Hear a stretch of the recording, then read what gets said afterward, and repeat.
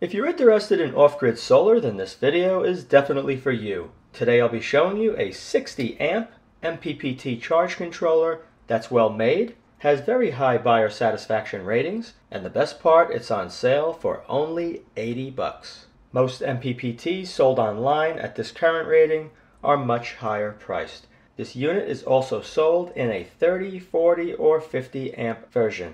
This solar charge controller was not offered to me. It was something that I requested Banggood send to me. The first thing I'd like to do is quickly go over some differences between a PWM and MPPT charge controller. On the left side, you can see a typical PWM charge controller. PWM charge controllers have been around for a very long time. They're lower in price compared to an MPPT. They're effective and generally easier to use. They hold up very well and they're smaller in size. And how the unit works, it charges the battery using pulses and the pulses are adjusted automatically based on the state of charge of the battery. One drawback to a PWM charge controller is that they're less efficient compared to an MPPT. The MPPT is a newer technology, it's higher in price, it has an exceptionally high efficiency between 94 and 98%, which is 20 to 30% higher than the PWM. MPPTs are compatible with a wide range of solar panels and batteries with different voltages. The MPPT has three stages of charging, constant current, constant voltage, and float. Generally, the MPPT charge controller is going to be larger than the PWM. This charge controller is a high-frequency DC to DC converter that optimizes the match between the solar panels and battery bank. If you live in a cold climate, you can benefit by using an MPPT charge controller because the cooler temperatures are going to increase the voltage output of the solar panels. In hotter temperatures in the summer, the output voltage for a solar panel or solar array is going to be lower. You can also benefit using the MPPT solar charge controller under hazy or slightly cloudy conditions.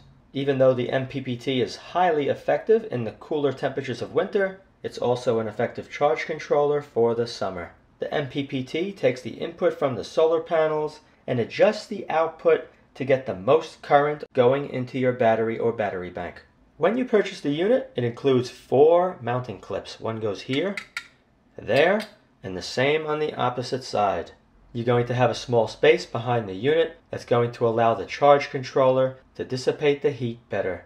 And you also get this instruction manual, which I can say is well written and probably the best one I've seen on all the product reviews that I've done. It's a plastic coated manual.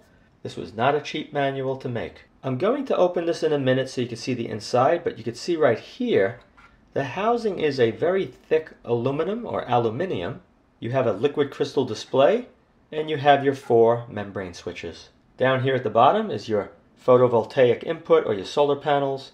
Positive, you have two openings, two screws. Negative, then you have your battery positive, there's two openings, battery negative, two openings. And over here is just a 5 amp load that you can connect positive and negative. Before I open this up to show you the inside and give you a quick demonstration showing how it works, First, let me explain how you would connect this up. For the demonstration, which you're going to see, I'm going to be using a 400 watt 24 volt solar module. You don't have to use that. You can use two of those. You can use 12 volt panels. You can use whatever you like, but there is a maximum input power. And if you're going to be using 12 volt panels, it's going to be 720 watts. If you're going to be using 24 volts, you can put up to 1440 watts, 36 volts, 2100 watts or 48 volts 2800 watts. Keep in mind if you use an oversized array the charge controller will not be operated at maximum power point. So it's a good idea to keep within the limits I just mentioned. Over here you have your positive and negative from the panel with your MC4 connectors and it's going to go to a double pole circuit breaker and the circuit breaker rating is calculated by taking the total amperage output of your solar panel or solar array and multiplying it by 1.25. So if you come in around 23 amps, you'd want to go a little higher, take a 25. And the breaker looks like what you see right over here. I'll have a link to all these things posted in the video description area. You can see over here the two wires tie into the charge controller on the left side. Positive on the left and negative on the right.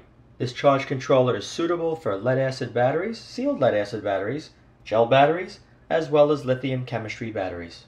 In the picture right here, you can see the battery. That's the negative and positive. It goes to the second set of terminals on the charge controller. Once again, the negative on the right and positive on the left. And you can see right here, there's a fuse connected to the wire at the battery terminal. And you want to make sure that matches the MPPT rating. So if this is a 60 amp max, you want to make sure you have a 60 amp fuse. Make sure the wire can also handle the level of current. It's also very important to have all these connections as short as possible. So you have your solar panel on the roof, the cable runs into a shed or maybe your garage, and it goes directly to that breaker. All of these components should be very close together in that area. The battery I'll be using for the demonstration is the 12 volt 120 amp hour lithium iron phosphate battery that I put together in another video. There's going to be a connection at the post that leads to a power inverter. Now in this demonstration I'm just going to have the solar panel connected to the charge controller and also the battery. There's not going to be an inverter connected, there's no reason for that. I just want to show you how the system operates and the different settings. Besides the fuse right here, you're going to have another one at the battery positive and it goes directly into your inverter. Keep the fuse as close as possible to the battery post. Sizing of that fuse is pretty simple. You're going to figure out how much current is used by the power inverter. If you're using a 3000 watt unit, more than likely it's going to pull around 270 amps. You want to take that 270 and you want to make it 25% higher than that level. You also have to make sure you're using the correct size wire to be able to handle the current. With a 300 amp draw, you could probably get by using two number one stranded copper wires in parallel, or one larger wire like a 4-aught stranded copper wire. The higher the voltage of the system, so if the battery is not going to be a 12, it could be 24 or 36, as well as the inverter, the wires are going to be smaller because there's going to be less current flowing. The fuse ratings are also going to be less. You want to make sure the solar panel, the rack that they're mounted on, as well as the frame are all connected together. You're going to run a ground wire that goes to a ground bus. You're going to take the housing of the charge controller, connect a wire to it, run that to the ground bus, and you're going to take the housing of the inverter, tie that to the ground bus, and then this wire right here goes to your ground rod. You can pick up a ground rod like you see right over here, Home Depot, Lowe's, or many other home improvement stores. And if you're wondering what the wire size should be for the grounds, I would go with a number 8 from the panels, and I would take a number 10 from the inverter and the charge controller. Use a number 8 going from the ground bus to the ground rod. The last thing I want to show you is right over here. This is the load output. You do not have to use it. If you install this charge controller inside of a shed, and it's going to be dark inside, you can have lighting in the shed. It could be LED lighting, whatever you like. Just make sure you keep it under 5 amps. Right over here is a 5 amp fuse. Now let's open up the unit and take a peek inside before I give you a quick demonstration. With the unit opened up, you can see the display panel board. Here's where it was connected with the cable. Over here, this flat cable goes to the membrane switches, connects right over here. On this side of the board, there's not too much going on. We have some inductors, a bunch of capacitors, as well as opto-isolators. The larger components handling all the current are on the back side of this board. I'll try and give you a view of it. They're all connected to a very large aluminum heatsink that's around 6 millimeters or 1 quarter of an inch thick. They're bolted to the heatsink using thermal compound. Okay, let's put this back together. Now before I connect up the solar panel so you can see the full operation with the lithium iron phosphate battery, first I'm going to connect up my power supply unit and a battery off to the right. You can see over here, battery, and over here is the power supply that would simulate the solar panel. Let me connect the battery first.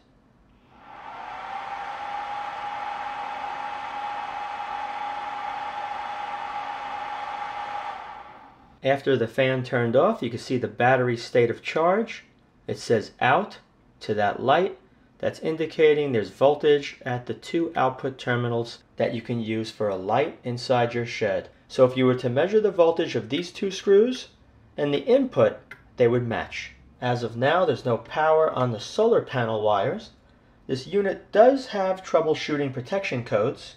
One of them is number 18, which is input photovoltaic voltage is low. 60 is over temperature protection. 63, battery voltage is high. 65, battery voltage is low. 71, input photovoltaic voltage is high. 73, overcharging current. If you push this button right over here, that's the battery voltage, 13.6. Push it again. Over here you can see 3.0. 3.0 is the working mode. This unit has four different working modes. 3.0 means night mode or no charging. In this case, the panels aren't connected. Working mode number 4 is MPPT mode. Working mode number 7 is absorption mode. And working mode number 8 is floating mode. And over here is the temperature of this unit. Let's push this one more time. There you go, 18. As I said earlier, number 18 is input photovoltaic voltage is low. Let me turn on my power supply. It's set for 20 volts. And now it shows the sun and it's charging. You can see the battery going up and down. Output, everything's fine there. Push the down arrow. Now we're on number four. Now it's on MPPT mode. Temperature's rising a little bit. 14 volts is the battery. That's the amps, 8 amps, 14.2. Photovoltaic voltage is 19.6. Very close to what I'm showing. And it says 13 watts. The reason why it's going a little slow right now is because the battery I'm using is very near a full charge. The mode has changed to number 7, that's absorption mode, because the voltage of the battery is getting high. Alright, let me push the program button. So I'm going to do first is disconnect the solar panel. And you can see the sun disappeared, nothing's going on. After pressing the program button, you're going to see D00. And what that setting is, is the load working time. So over here, you could leave it at 24, or you could push enter, and you could change it to how many hours you would like with that up and down arrow. Default is 24, so I'll just leave it at 24. You want to go to the next one now, push the up arrow. Now we're at D01. Now what D01 is, that's the default value for the float charge. So if we were going to be using a lead acid battery instead of a lithium iron phosphate, you'd push enter and I would suggest making that around 13 point, maybe 13.8. Then you push enter. Okay, so if I go down and I go back up, it should have held. Yep, 13.8. Push the up arrow again. This over here is D02, and what that is is the highest absorption charging voltage for the battery. So lead acid battery, we can make this 14.5. Very easy. You can put any of these settings to what you need for the type of battery that you're charging. So 14.5, enter. Let's go up and down, make sure it saved it. It did, all right. Now D03, you see it's showing a 10, and what that is is 10 volts. That's a protection value for battery discharge. You can make it higher or lower. So let's get out of here now, push escape and we're back to the beginning. So it's very easy to set up. According to the manufacturer of this unit, you can reverse by accident the input from the solar panel. So let me switch these two wires, turn on the power, and make sure it does not damage the unit. First turn off the power from the power supply unit. You can see the charging stopped and we got code 18 which is low input voltage from the solar panels. Okay, so now I'm going to switch. Let's turn it on, see what happens. Hopefully nothing breaks, because if something breaks, they lied. Here we go. Well, I got news for you. It is not working, so that's a good thing. I have the power turned on, nothing happening here, and I'm showing no current leaving the power supply. So let me reverse the wires with it on, and make sure it comes right back on. And there you go. All right, so you can reverse the power coming in from the panels and it's not going to damage the unit. And not only if the wire from the solar panel got reversed, but if the wire got shorted somewhere, It will not damage the charge controller. The manufacturer does not state that you're able to reverse these two wires leading to the battery, so I will not be trying that. One thing that's going to be important for me to test is to make sure this unit can handle over temperature. So what I'm going to do is flip this on its side after it's connected up, and I'm going to take my heat gun, and I'm going to heat up that entire heatsink on the back of this unit to make sure the fan turns on. Then once the fan turns on, I'm going to continue to apply more heat to see if the unit turns off.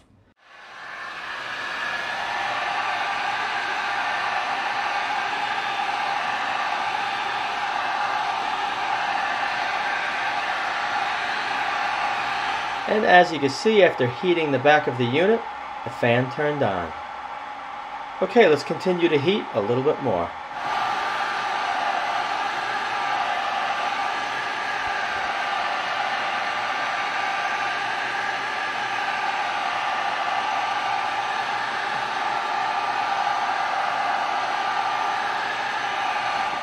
According to the manual, at 75C the unit should shut down. And as you can see right here, I heated it all the way up to 82C and the unit is still powering. So my suggestion would be do not overload this unit because I'm uncertain if the unit will actually power off in the event of an excessive load. Instead of using just one 400 watt solar module, I decided to use two. So the one on the left is a JA Solar 395 watt rating, 40 volts at 10 amps. And over there is my LG, it's a 400 watt panel, same output around 10 amps. So the two of these are connected in parallel. So we're going to have around 40 to 42 volts at 20 amps. And I'm inputting that over here into the MPPT charge controller. And you can see I have my lithium iron phosphate battery all ready to go. I'm using two number 10 stranded copper for the negative and two number 10 stranded copper for the positive. Each one can handle around 30 amps. Goes right over to the MPPT charge controller. Two here and two there. And here's the negative from the solar panels and over here is the positive. Both solar panels are connected together using what you see right here. Positive and positive into one. Negative and negative into one and I just have a bullet connector to go to the charge controller for the demonstration and over here is a another bullet connector the female and it slides perfectly inside. So if you ever have to do any testing you could do it this way. It fits perfectly and locks in tight and then the bullet goes in there. And here it is connected to the panels. And it's not even full sun. We're peaking 63 64 that's how much is going into that lithium iron phosphate battery.